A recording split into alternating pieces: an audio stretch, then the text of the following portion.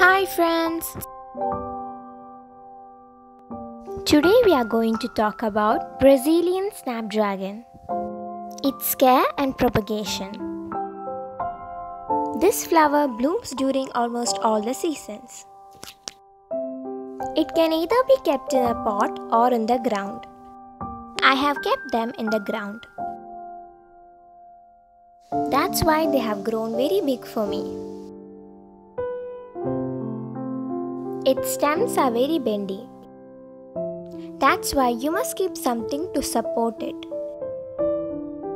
It must receive minimum 4 hours of sunlight.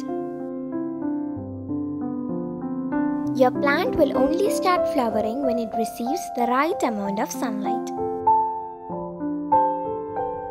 It usually blooms in a bunch.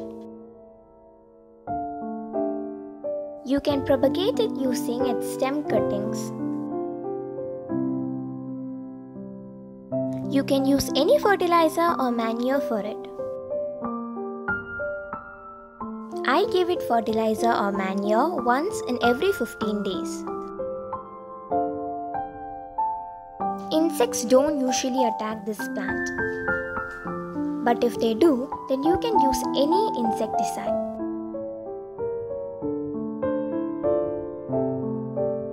After flowering, trim out the old flowers.